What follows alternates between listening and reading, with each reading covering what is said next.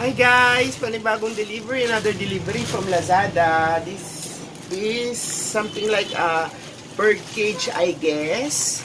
Uh, so, I'm opening it for the first time. It's not, it's not adequately wrapped.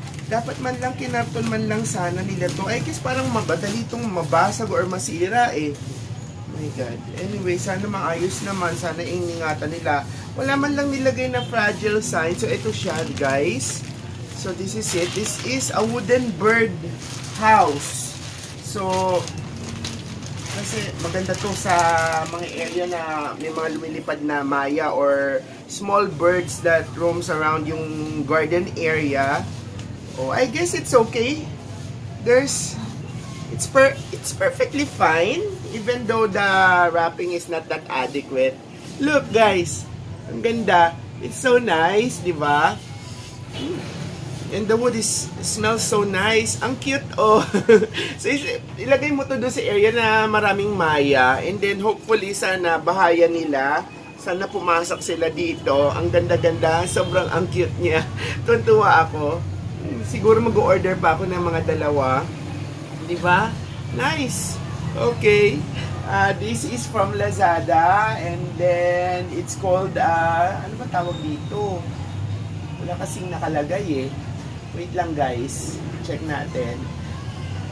Ay nako, wala talaga nakalagay. But anyway, it's a bird house from Lazada. Guys, oh, ang ganda-ganda talaga. I love this one. Hindi hindi siya ano ah, hindi siya ano ah, mat, matibay siya. Ay, ayun lang. Ayun oh, guys, oh. Medyo dahil nga hindi siya masyadong wrap adequately, nabiak yung isang bubong. Okay, na-damage yung isang bubong. Pero the rest naman, it's okay. Nako, mahal-mahal pa naman ito. Magkano ba to? Sandali, tignan ko nga. Tapos ganyan, nabiak yung isang bubong. Ay, nako, magre-rebelde hata ako parang ano, parang mali kasi 'di ba?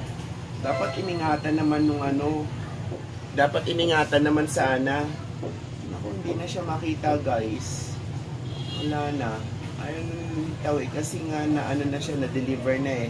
But anyway, hindi, it's, it's nothing that I cannot fix. Siguro, lagyan na lang to ng wood glue or something. Tanggalin ko siya and then re, ano ko siya, lagyan ko siya ng wood glue para medyo matibay-tibay naman kasi talagang ano oh, nabiak siya oh, something like that. Naku, Lazada, there's a damage. Tignan nyo, oh. Lazada, look. Oh, Lazada, this is damage item. So, reklamo ko to, ha? Next time, sana adequately wrap na tong mga gantong item. Naku naman, Diyos ko dahil. Ang pangit oh. tapos ipanregalo ko pa naman. Anyway, hindi ako papathank you ngayon sa Lazada. Galit ako. Sira eh. Paano kaya to?